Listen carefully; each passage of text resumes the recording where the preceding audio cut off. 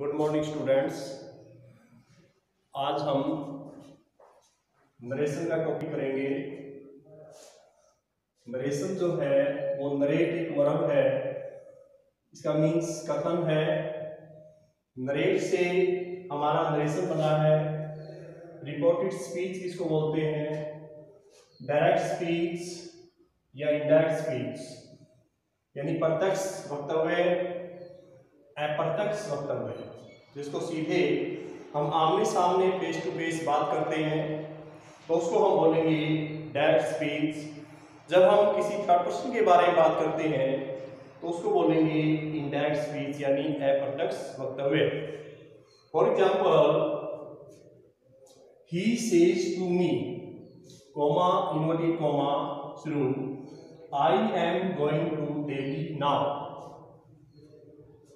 वह मुझे कहता है कि मैं अब दिल्ली जा रहा हूँ।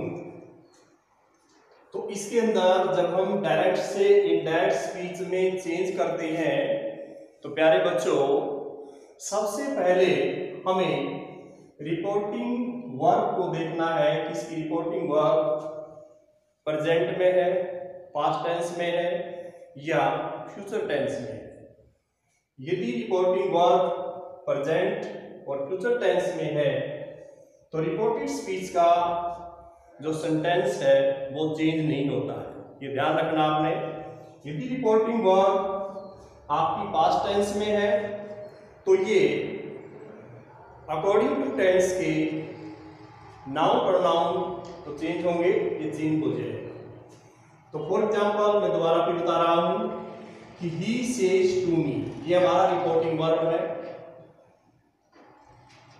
कॉमा इनवर्टेड कॉमा शुरू I am going to Delhi now ये रिपोर्टेड स्पीच है तो इसके अंदर सबसे पहले हम, ये हमारा सब्जेक्ट हुआ मी हमारा ऑब्जेक्ट हुआ, ये हमारे सब्जेक्ट और ऑब्जेक्ट है। ये हमारा आई क्या है? फ़र्स्ट पर्सन है। तो एक हमारा फॉर्मूला है, ये तो लिख रखा मैंने, ध्यान दे बच्चों। और student listen carefully wait the blackboard SON बटे 123 या equal to three SON means क्या है? Subject O means object N means no change और नीचे मैंने आपको लिखा, ये हमारी पर्सन है फ़र्स्ट पर्सन मैं फ़र्स्ट पर्सन हूँ। ऑडियंस मेरे सामने आप बैठे हो। सेकंड पर्सन है। जिसकी हम चर्चा कर रहे हैं, वो थर्ड पर्सन है। तो फ़र्स्ट पर्सन के अंदर क्या आएगा? I my me mine we our ours ours we our us sorry we our us ours you your you your और थर्ड पर्सन में हमारा सेकंड में हमारा क्या आ गया? You your you yours third person में he his him, she her her it its it its, they their them, any इस प्रकार से हमारे नाउन से प्रोनाउन चेंज होंगे। उसके बाद ये जो आई वी यू है, इसको हम बोलते हैं सब्जेक्टिव केस यानी कर्ता कारक माई और योर है, इसको हम बोलते हैं पोजेसिव एडजेक्टिव और मी अस जो है, इसको बोलते हैं ऑब्जेक्टिव केस यानी जो हेल्पिंग मेन वर्ब के बाद आता है वो हमारा ऑब्जेक्टिव केस होता है. माइन और योर्स ये हमारे पॉजिटिव प्रोनाउन होते हैं. तो इस प्रकार से हम इसको आगे हम बढ़ेंगे. कि जो ये रिपोर्टिंग वर्ब है direct speech and direct speech है नरेशन है ये काइंड ऑफ़ पार्ट इसके पार्ट कितने हैं? इसके सिक्स पार्ट हैं। पहला है सिंपल सेंटेंस यानी सरल वाक्य। सेकेंडली है नेगेटिव सेंटेंस यानी नकारात्मक वाक्य। थर्ड है इंटेरोगेटिव सेंटेंस यानी प्रश्नात्मक वाक्य। फोर है इंपेरेटिव सेंटेंस यानी आदेश। इसमें आदेश दिया जाता है, आदेशात्मक वाक्य। फाइव है ऑपरेटिव सेंटेंस, जिसको हम इच्छावाचक बोलते हैं। सिक्स है हमारा एक्सक्लामेटरी सेंटेंस, जिसमें विस्मयादिवाचक यानी जिसमें हम कोई भी किसी सीन को देख करके आश्चर्य चकित होते हैं। तो आगे हम इस प्रकार से करेंगे इस सेंटेंस को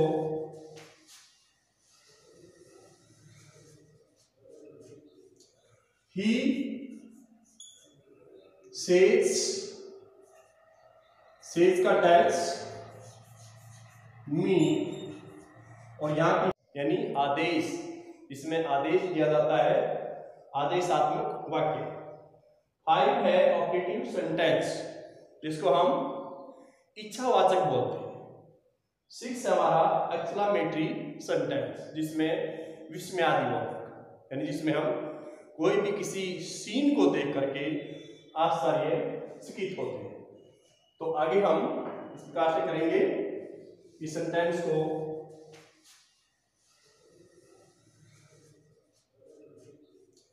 ही सेज सेज का टेंस मी और यहाँ पे कोमा किस जगह आएगा? दैट आई को हम किसमें कन्वर्ट करेंगे? सन बटा एक का फॉर्मूला बताया था, यानी सब्जेक्ट किसके अकॉर्डिंग फ़र्स्ट पर्सन के। ऑब्जेक्ट किसके अकॉर्डिंग सेकंड पर्सन के। और थर्ड पर्सन नो चेंज तो फ़र्स्ट पर्सन हमारा क्या है? आई ये हमारे इसमें पर्सन होते हैं, प्यारे बच्चों, और यहाँ पर हमारे सब्जेक्ट ऑब्जेक्ट होते हैं। तो फ़र्स्ट पर्सन किसके अकॉर्डिंग चेंज हुआ? ये ध्यान देना है सब्जेक्ट तो सब्जेक्ट हमारा क्या है? ही तो हम यहाँ क्या रखेंगे? ही यानी कोमा इन्वर्टेड कोमा तो क्या हमारा क्या दैट और आई की जगह हम क्या रखेंगे? ही और ही ही के साथ क्या लगता है? Is its he is. I के साथ क्या लगता है? Am. He is going to Delhi now. आप सभी बच्चे कहेंगे कि नाव को देन में चेंज करो सर को देन में चेंज तब होगा बेटे। कि जब यहाँ पर, यानी आपका रिपोर्टिंग वर्ब जो है, वो पास्ट टेंस में होगा। तब इसको हम नाव को देन में कर सकते हैं। अदरवाइज़ यदि रिपोर्टिंग वर्ब प्रेजेंट में या फ्यूचर टेंस में हो तो रिपोर्टेड स्पीच का टेंस चेंज नहीं होता है और नियर बाय वर्ड भी चेंज नहीं होते हैं। वो एज इट इज़ रहते हैं। यो भी वो ये रहते हैं। इनमें कोई बदलाव नहीं होता है। और जब यहाँ पर हमारा पास्ट में तो तब नियर बाय वर्ड भी चेंज होंगे। आगे मैं आपको बताऊँगा।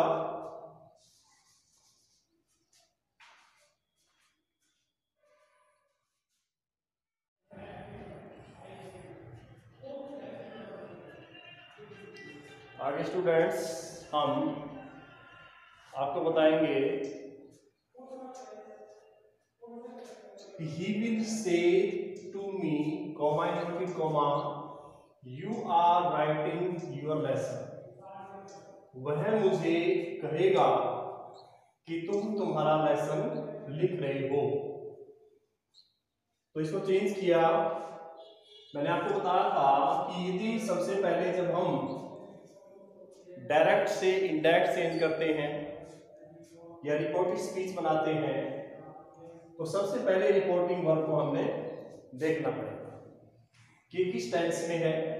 अब यहाँ विल से है तो विल से फ्यूचर टेंस में है प्रेजेंट और फ्यूचर टेंस में यदि रिपोर्टिंग वर्ब है तो रिपोर्टेड स्पीच का टेंस चेंज नहीं होता ओनली नाउन प्रोनाउन ही चेंज होंगे।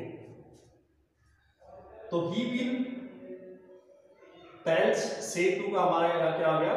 टेन ऐसे नहीं आएगा क्योंकि सेल और के साथ ओनली वर्ब की फ़र्स्ट फॉर्म यूज़ होती है। तो he will tell me that you you हमारा सेकंड पर्सन है। तो सेकंड पर्सन मैंने आपको फॉर्मूला बताया था सन बटे एक सौ तेईस तो यू हमारा क्या है? सेकंड पर्सन सेकंड पर्सन किसके अकॉर्डिंग चेंज होगा?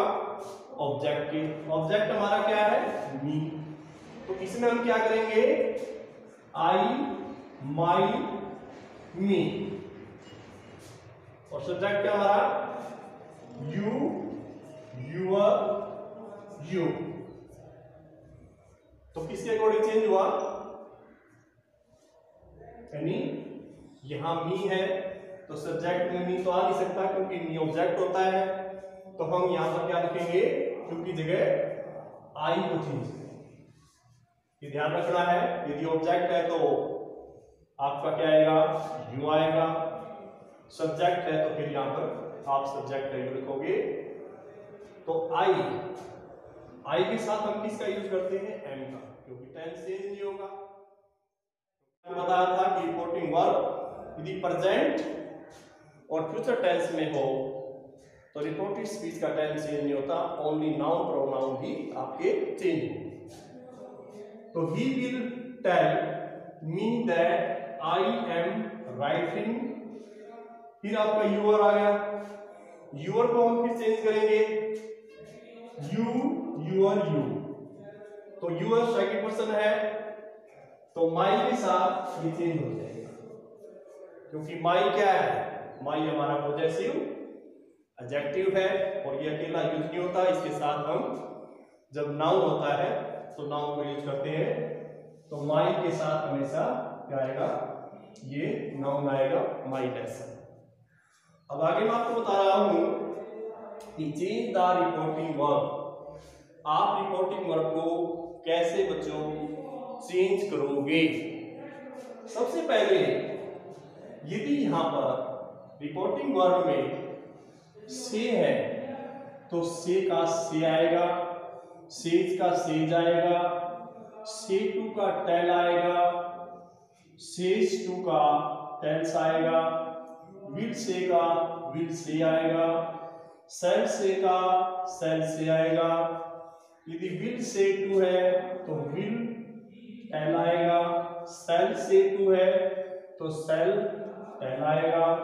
टेल का टेल और टेल्स का टेल आएगा। इस प्रकार से हमारे ये चेंज होंगे और यदि ये है तो इसके अंदर रिपोर्टिंग स्पीच जो है, यानी कोमा इन्वर्टेड कोमा के अंदर जो सेंटेंस है, वो चेंज नहीं होगा, उसका टेंस चेंज नहीं होगा।